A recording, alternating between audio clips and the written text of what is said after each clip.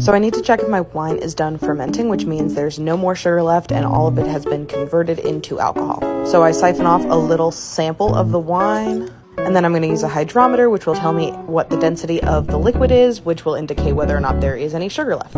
I want my wine to be dry, which would have a hydrometer rating of 0.99 for wines. So this wine is now dry, which means it can now be cleared. So I'm going to use this chemical to bind to any large particles and allow them to settle at the bottom. Next, we will rack it off the lees.